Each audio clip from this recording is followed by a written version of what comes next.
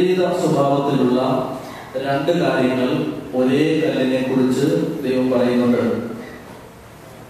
ഈ കല്ലിനെ കുറിച്ച് പറയുന്നത് ഒന്നാമത്തേത് ഈ കല്ല് മൂലക്കല്ലായി മാറും രണ്ടാമത്തേത് ഈ കല്ല് തട്ടി വീഴുന്ന കല്ലായി മാറും രണ്ട് കാര്യങ്ങളാണ് വചനം പറയുന്നത്. ഒന്നാമത്തേത് ഈ കല്ല് നമ്മെ രൂപീകരിക്കുന്ന നമ്മെ നിർമ്മിക്കുന്ന നമ്മെ പടുത്തുയർത്തുന്ന അടിസ്ഥാന ശിലയായി മാറും രണ്ടാമത് പറയുന്നത് ഇതേ കല്ല് തന്നെ നമ്മെ തട്ടി തകർക്കുന്ന കല്ലായും മാറും സത്യത്തിൽ എന്താണ് വചനം നമ്മോട് പറയാൻ ആഗ്രഹിക്കുന്നത്? പ്രിയപ്പെട്ടവരെ വളരെ ഗൗരവമായി എടുക്കേണ്ട ചില സൂചനകൾ ദൈവത്തിന്റെ വചനം നമ്മോട് പറയുകയാണ്. യേശു എന്ന മൂലക്കല്ല് നമ്മെ പടുത്തുയർത്തുന്ന കല്ലും നമ്മെ തകർക്കുന്ന കല്ലും ആയി മാറാൻ സാധ്യതയുള്ള അടിസ്ഥാന ശരിയാണ്. നമുക്ക് കുറെ കൂടി മനസ്സിലാവുന്ന ഭാഷയിൽ വചനം പറഞ്ഞാൽ കർത്താവ് പറയുന്നത് ഇത്രയേ ഉള്ളൂ. യേശു നമ്മെ രൂപീകരിക്കുന്നവരും നമ്മുടെ രൂപീകരണത്തിന്റെ ഘടകവും അതേ സമയം തന്നെ അതേ യേശു തന്നെ നമ്മെ വിധിക്കുന്നവനും ആയി മാറും. അപ്പോൾ എങ്ങനെയാണ് നമ്മൾ ഈ വചനത്തെ മനസ്സിലാക്കേണ്ടത്? ഒരേ കർത്താവ് തന്നെ നമ്മെ പടുത്തുയർത്തുന്നവനും ഒരുപക്ഷെ അങ്ങനെ പറയാൻ പാടില്ലെങ്കിൽ കൂടി നമ്മുടെ നാശത്തിന്റെ കാരണവും ആയി തീരും എന്താണ് വചനത്തിന്റെ അർത്ഥം? ദൈവം ഒരു വ്യക്തിക്ക് ദൈവത്തിലേക്ക് വരാൻ ആയിരം അവസരങ്ങൾ വെച്ച് കിട്ടും. ജീവിതത്തിലെ ഓരോ സന്ദർഭങ്ങളും ഒരു വ്യക്തിക്ക് ദൈവത്തിലേക്ക് എത്തിച്ചേരാനുള്ള ദൈവത്തിന്റെ ക്ഷണമായി മാറുന്നു. ഈ ക്ഷണം സ്വീകരിക്കുന്നവർക്ക് ദൈവത്തിന്റെ വിളി കേൾക്കുന്നവർക്ക് അത് ജീവിതം രൂപപ്പെട്ട് ദൈവത്തിൽ എത്തിച്ചേരാനുള്ള അനുഗ്രഹമായി മാറും. ദൈവം തരുന്ന അവസരങ്ങളെ നിസ്സാരമാക്കുന്നവർക്ക് അതേ കർത്താവിന്റെ ക്ഷണം തന്നെ നാശത്തിന്റെ കാരണമായി മാറുന്നു. വിദേശത്ത് താമസിക്കുന്ന മലയാളികളെ സംബന്ധിച്ചിടത്തോളം ഈ വചനം എങ്ങനെയാണ് ബാധകമാവുന്നത്? വളരെ ലളിതമാണ്. നമുക്ക് ദൈവത്തെ ആരാധിക്കാനും ദൈവത്തെ വിളിക്കാനും ദൈവവചനം കേൾക്കാനും കർത്താവിനോട് ചേർന്ന് നിൽക്കാനുമുള്ള സാഹചര്യങ്ങൾ ദൈവം തന്നിട്ടുണ്ടെങ്കിൽ ആ സാഹചര്യങ്ങളോട് ക്രിയാത്മകമായി പ്രതികരിക്കാതിരിക്കുന്ന വ്യക്തികളുടെ ജീവിതത്തിലേക്ക് ഈ കല്ല് അവരെ തകർക്കുന്ന കല്ലായി മാറും. പ്രിയപ്പെട്ടവരെ വചനം ചില കാര്യങ്ങൾ നമ്മോട് വ്യക്തമായി സംസാരിക്കുമ്പോൾ നമ്മൾ അതിനോട് മറുതലിച്ചിട്ട് കാര്യമില്ല. സത്യത്തിൽ നമ്മെ എപ്പോഴും നടുക്കേണ്ട ഒരു സംഗതി എന്ന് പറയുന്നത് ആര് എപ്പോൾ ആർക്ക് എപ്പോൾ എന്ത് സംഭവിക്കും എന്നുള്ളതിനെ കുറിച്ച് നമുക്ക് യാതൊരു നിശ്ചയവും ഇല്ല.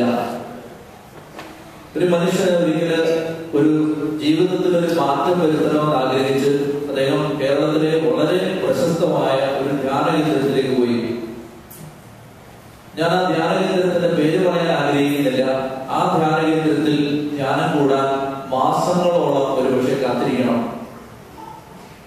ഇയാൾ അനേകം പരിശ്രമങ്ങൾ നടത്തി ഒടുവിൽ ഈ ധ്യാനത്തിന് പോകാനായി അദ്ദേഹത്തിന് അവസരം കിട്ടി. അയാൾ പോയി.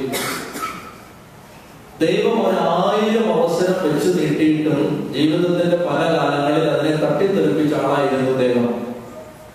ആ മനുഷ്യൻ അവിടെ പോയി ധ്യാനം കൂടിയിട്ട് വെള്ളിയാഴ്ച രാവിലെ ധ്യാനം അവസാനിച്ചു. അദ്ദേഹം വെള്ളിയാഴ്ച ഉച്ചയായപ്പോൾ വീട്ടിലെത്തി. ഒരു നല്ല കുമ്പസാരമൊക്കെ നടത്തി അയാൾ പാപം ഒഴിവാക്കുമെന്ന് തീരുമാനമെടുത്തിട്ടാണ് തിരിച്ചു വന്നത്. അങ്ങനെ വന്നെങ്കിലും വെള്ളിയാഴ്ച വൈകുന്നേരം ആയപ്പോഴേക്കും ആ മനുഷ്യനെ വീണ്ടും അദ്ദേഹം ഏതൊക്കെ പാപങ്ങൾ ഉപേക്ഷിച്ചു ആ പാപങ്ങൾ വീണ്ടും തിരിച്ചു വിളിക്കാൻ തുടങ്ങി. അയാൾ എന്ത് ചെയ്തു? ഒരു ദിവസം അയാൾ ദൈവത്തിൽ ആശ്രയിച്ചു നിന്നു. ശനിയാഴ്ച അയാളെ പാപം വിളിക്കുകയാണ്. ചില വഴിവിട്ട ബന്ധങ്ങളായിരുന്നു അയാൾക്കുണ്ടായിരുന്നത് ഞാൻ അതിന്റെ വിശദാംശങ്ങൾ പറയുന്നത് ഒരുപക്ഷെ നമുക്ക് ഊഹിച്ചെടുക്കാനും വായിച്ചെടുക്കാനും പറ്റുന്ന ചില സംഭവങ്ങൾ ഇതിനകത്തുണ്ട്. അതുകൊണ്ട് തന്നെ ഞാൻ ആ കാര്യം മാത്രമേ നിങ്ങളോട് പറയുന്നുള്ളൂ. ചില വഴിവിട്ട ബന്ധങ്ങൾ അയാൾക്കുണ്ടായിരുന്നു ചില പ്രത്യേക വ്യക്തികളുമായി ബന്ധങ്ങളുണ്ടായിരുന്നു. കർത്താവ് അയാളോട് ആവശ്യപ്പെട്ടത് ഇയാൾ ഇത് ഉപേക്ഷിക്കണം എന്നാണ്. ഒരു ദിവസത്തേക്ക് അത് ഉപേക്ഷിച്ചു. പ്രിയപ്പെട്ടവരെ ശനിയാഴ്ച വൈകുന്നേരം ഇയാൾ അയാൾ ഒരിക്കലും പോകരുതാത്ത ഒരു വീട്ടിലേക്ക് പോയി. ആ രാത്രി അവിടെ ചെലവഴിക്കാനാണ് അയാൾ പോയത്. പ്രിയപ്പെട്ട സഹോദരങ്ങളെ ആ രാത്രി അയാൾക്ക് ഹൃദയവേദന വന്ന് ആ വീട്ടിൽ വെച്ച് അയാൾ മരിച്ചു. ആ സ്ത്രീ എന്ത് ചെയ്തെന്നറിയാമോ? തന്റെ വീട്ടിൽ വെച്ച് തന്റെ വീട്ടിൽ ഒരിക്കലും കാണപ്പെടാൻ കാണപ്പെടരുതാത്ത ഒരു വ്യക്തി മരിച്ചപ്പോൾ ആ സ്ത്രീ അയാളെ പിടിച്ച് രാത്രി വലിച്ചെടുത്ത് ഈ മൃതദേഹം കൊണ്ടുവന്ന് റോഡ് സൈഡിൽ കൊണ്ടുപോയി. വാർത്ത ഇങ്ങനെയാണ് വഴിയരികിൽ അജ്ഞാത മൃതദേഹം കണ്ടുകിട്ടി. പ്രിയപ്പെട്ട സഹോദരങ്ങളെ ഞാൻ എനിക്ക് നേരിട്ടറിയാവുന്ന ഒരു സംഭവം നിങ്ങളോട് പറഞ്ഞതാണ്. പിന്നീടുള്ള അന്വേഷണത്തിലാണ് ഇതിന്റെ വിശദാംശങ്ങൾ കിട്ടുന്നത്. ദൈവം നമുക്ക് വെച്ചു നീട്ടുന്ന അവസരം ഒരുപക്ഷെ അവസാനത്തെ അവസരമാണോ എന്ന് നമുക്ക് ആർക്കും നിശ്ചയമില്ല. മരണം ഏത് സമയത്തും ഏത് വ്യക്തിയെയും തേടിയെത്താം. ഇത് പറഞ്ഞുകൊണ്ടിരിക്കുമ്പോൾ ഇത് പൂർത്തിയാക്കാതെ ഒരുപക്ഷെ ഞാൻ മരിച്ചു വീഴാൻ സാധ്യതയുണ്ട്. ഇത് കേട്ട് നിൽക്കുന്നവർക്കും അതേ സാധ്യതയുണ്ട്. നമ്മൾ യാത്ര ചെയ്യുമ്പോൾ യാത്ര പൂർത്തിയാക്കാനാവാതെ മടങ്ങേണ്ടി വരുമോ ഇല്ലയോ എന്ന് നമുക്ക് അറിഞ്ഞുകൂടാ. ജീവിതം നാം വിചാരിക്കുന്നത് പോലെ അവസരങ്ങളുമായി നമ്മെ കാത്തു നിൽക്കണമെന്നില്ല. എനിക്കറിയാവുന്ന രൂപതയിലെ ഒരു വൈദികന്റെ അനുഭവം ഞാൻ നിങ്ങളോട് പറയാം അദ്ദേഹം അദ്ദേഹത്തിന്റെ കുടുംബത്തിൽപ്പെട്ട ഒരു വിവാഹം ആശീർവദിക്കാൻ വടക്കേ ഇന്ത്യയിൽ നിന്ന് എത്തിയതായിരുന്നു. അദ്ദേഹം ആ വിവാഹം വിവാഹം ആശീർവദിച്ചു കഴിഞ്ഞ് വിവാഹത്തിന്റെ കൂതാശ പൂർത്തിയാവും മുമ്പ് അദ്ദേഹം അൽത്താരയ്ക്ക് മുമ്പിലേക്ക് വധുവരന്മാരെ വിളിച്ചിട്ട് അവരെ ആശീർവദിക്കുന്ന ഒരു ചടങ്ങുണ്ട്. ആ ചടങ്ങിൽ പ്രാർത്ഥന ചൊല്ലിക്കൊണ്ടിരിക്കുമ്പോൾ പ്രാർത്ഥന പകുതിയാക്കി അദ്ദേഹം കുഴഞ്ഞു വീണ് ബലിപീഠത്തിന് മുമ്പിൽ മരിച്ചു. ഞാൻ രൂപത പറയുന്നില്ല വൈദികന്റെ പേര് പറയുന്നില്ല. പ്രിയപ്പെട്ട സഹോദരങ്ങളെ പറഞ്ഞുകൊണ്ടിരിക്കുന്ന വാക്കുകൾ പൂർത്തിയാക്കാനാവാതെ ചിലപ്പോൾ നാം മടങ്ങിപ്പോകേണ്ടി വരും. ദൈവം എന്താണ് നമ്മളോട് ആവശ്യപ്പെടുന്നത്? ജീവിതത്തിലേക്ക് ദൈവം ഒരു അവസരം വെച്ച് നീട്ടി തന്നിട്ട് നാം അതിനെ സാരമാക്കാതെ അവഗണിച്ചാൽ നാളെ നമുക്കൊരു അവസരം കിട്ടുമോ ഇല്ലയോ എന്ന് നാം എങ്ങനെ ഉറപ്പിക്കും? അതുകൊണ്ട് വചനം പറയുകയാണ് ഈ കല്ല് നിനക്ക് അനുഗ്രഹമാവാനും സാധ്യതയുണ്ട്. നിനക്ക് ശാപമാവാനും സാധ്യതയുണ്ട്. ഈ കല്ലിൽ നീ പണിതുയർത്തപ്പെടാനും സാധ്യതയുണ്ട്. ഈ കല്ലിൽ വീണ് നീ നശിക്കാനും സാധ്യതയുണ്ട്. ഓരോ നിമിഷവും നെഞ്ചിനകത്ത് ഉണ്ടാവേണ്ട നിലവിളി എന്താണ്? ഏത് നേരവും മരണം ക്ഷണിക്കാത്ത ഒരു പോലെ കടന്നു വരാൻ സാധ്യതയുള്ള അത്രമേൽ ദുർബലമായ ഒരു ജീവിതാവസ്ഥയിൽ നാം ജീവിക്കുമ്പോൾ ഓരോ മിനിറ്റിലും നാം ജാഗരൂകരാവട്ടെ. ഓരോ മിനിറ്റിലും നാം ദൈവത്തോട് കണക്ക് കൊടുക്കാൻ ബാധ്യസ്ഥരല്ലേ പ്രിയപ്പെട്ട സഹോദരങ്ങളെ ഈ ദിവസം കർത്താവിന്റെ മുമ്പിലേക്ക് നാം വരുമ്പോൾ ഈ ഒരു ചിന്ത നമ്മുടെ മനസ്സിലുണ്ടാവട്ടെ. ഈ ആരോഗ്യം നശിക്കാൻ എത്ര കാലം വേണം? നിന്ന നിൽപ്പിൽ വീണു പോവാൻ എത്ര നേരം വേണം? സംസാരിച്ചുകൊണ്ടിരിക്കുന്നവരുടെ നാക്ക് കൊടിയാൻ എത്ര നേരം വേണം? പാഞ്ഞു വരുന്ന ഒരു വാഹനത്തിന്റെ ചക്രങ്ങൾക്കിടയിൽ ജീവിതം തിരിഞ്ഞു വരാൻ എത്ര നേരം വേണം? ഒരുപക്ഷെ നമ്മുടെ അഹന്തകളൊക്കെ താഴെ വീണ് ഉടയാൻ എത്ര കാലം വേണം? സമ്പത്തിൽ നാം അഭിമാനിക്കുന്നെങ്കിൽ ആ സമ്പത്ത് തകരാൻ എത്ര കാലം വേണം? ക്യാൻസർ പിടിപെട്ട ഒരാൾ എന്നോട് പറഞ്ഞു ഒരു ഇഞ്ചക്ഷന് ഒരു ലക്ഷം രൂപ അങ്ങനെ പത്ത് ഇഞ്ചക്ഷൻ പത്ത് ലക്ഷം രൂപ പത്ത് ലക്ഷം തീരാൻ പത്ത് ദിവസം മതി. പ്രിയപ്പെട്ടവരെ കോടിക്കണക്കിന് രൂപയുടെ മൂലധനമുള്ള ആളുകൾ രണ്ട് കൈയും നിസ്സഹായതയോടെ വളർത്തി പിടിച്ച് പ്രാർത്ഥന യാചിച്ച് നിന്ന ഓർമ്മകൾ എന്റെ മനസ്സിലുണ്ട്. ഡെമോക്ലീസിന്റെ വാൾ പോലെ തൂങ്ങിക്കിടക്കുന്ന മനുഷ്യരാണ് നമ്മൾ. അതുകൊണ്ട് തന്നെ ഓരോ പിടിയിലും നിൽക്കുമ്പോൾ താഴ്മയോടെ നമുക്ക് പറയാൻ കഴിയണം ദൈവമേ ഈ മിനിറ്റിൽ നീ എന്നെ വിളിച്ചാലും വരാൻ പറ്റുന്ന അത്ര കരുതലോടെ ജീവിക്കുന്ന ആളാണ് ഞാൻ. നാളെ ഒരു ദിവസം എന്റെ ആയുസ്സിൽ കരുതി എനിക്ക് ജീവിതത്തിൽ ഇനിയും ഒരു നിമിഷം പോലും ജീവിക്കാനില്ലെങ്കിലും എനിക്ക് മടങ്ങി പോവാൻ ഞാൻ തയ്യാറാണ്. ആയിരത്തി തൊള്ളായിരത്തി തൊണ്ണൂറ്റി ഒന്നിൽ ആണെന്നാണ് എന്റെ ഓർമ്മ. ബാബറി മസ്ജിദ് തകർക്കപ്പെട്ട വർഷം കേരളത്തിൽ ഹൈന്ദവരും മുസ്ലിങ്ങളും പരസ്പരം ആയുധമെടുത്ത് തെരുവിൽ പോരടിച്ച ഒരു കാലം.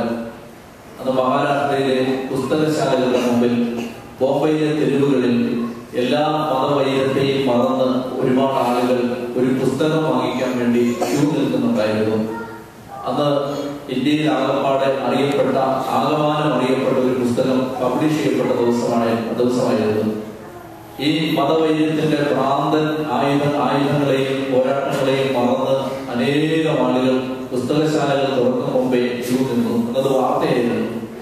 അന്ന് പ്രസിദ്ധീകരിക്കപ്പെട്ട പുസ്തകം ഗീതാഞ്ജലി എന്ന പേരുള്ള ഒരു പതിനാല് വയസ്സുകാരി ക്യാൻസർ പിടിപെട്ട് മരിക്കുന്നതിന് മുമ്പ് രോഗക്കിടക്കയിൽ മരണക്കിടക്കയിൽ കിടന്നുകൊണ്ട് അവൾ എഴുതിയ കുറെ പദ്യങ്ങൾ ഒരുമിച്ച് ചേർത്ത് പോയംസ് ഓഫ് ലവ് എന്ന പേരിൽ ഗീതാഞ്ജലിയുടെ കവിതകൾ ഇലസ്ട്രേറ്റഡ് വീക്കിലി അക്ഷര തെറ്റ് പോലും തിരുത്താതെ പ്രസാദനം ചെയ്ത് പുസ്തകമാക്കി പ്രസാദനം ചെയ്ത ദിവസമായിരുന്നു അത്.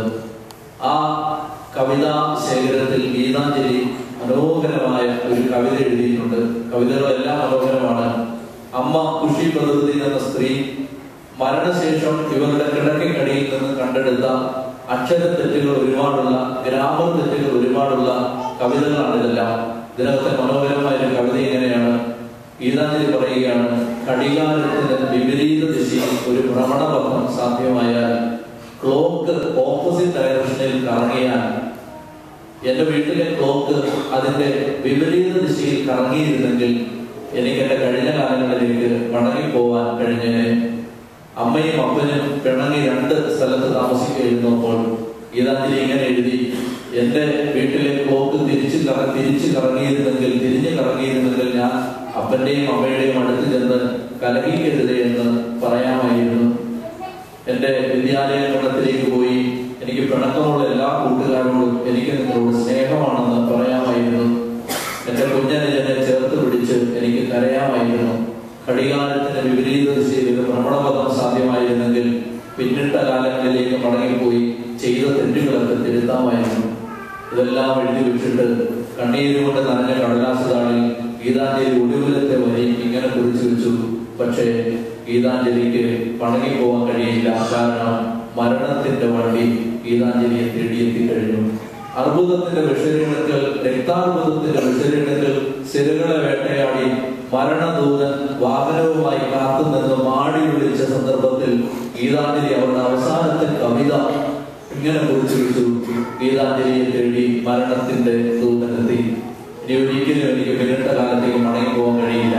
ഇനി ഒരിക്കലും എനിക്ക് ചെയ്ത തെറ്റുകൾ തിരുത്താനാവില്ല.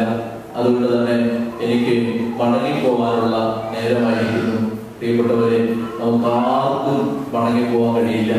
പിന്നിട്ട ജീവിതത്തിലേക്ക് തിരിച്ചു പോകാൻ പറ്റില്ല. ക്ലോക്ക് ഒരിക്കലും തിരിഞ്ഞ് കറങ്ങില്ല. ഓരോ മിനിറ്റും വിലപ്പെട്ടതാണ് സെക്കൻഡും വിലപ്പെട്ടതാണ് ഒടുവിൽ എല്ലാ കണക്കുകളും കൊടുക്കേണ്ട ഒരു ദിവസം വരുമ്പോൾ ഓരോ മിനിറ്റിനും നാം കണക്ക് കൊടുക്കേണ്ടി വരും. ദൈവസന്നിധിയിൽ ബലിയർപ്പിക്കുമ്പോൾ നമുക്ക് കർത്താവിന്റെ സന്നിധിയിൽ നമ്മെ സമർപ്പിച്ചുകൊണ്ട് ഈ ജീവിതം എത്രമേൽ വിലപ്പെട്ടതാണെന്ന് ഓർമ്മിച്ച് ദൈവം തരുന്ന അവസരങ്ങളെ നിസ്സാരമാക്കാതെ ജീവിക്കുമെന്ന ബോധ്യത്തോടെ നമുക്ക് ബലിയർപ്പിക്കാം. പിതാവിന്റെയും പുത്രന്റെയും പരിശുദ്ധാത്മാവിന്റെയും നാമത്തിൽ.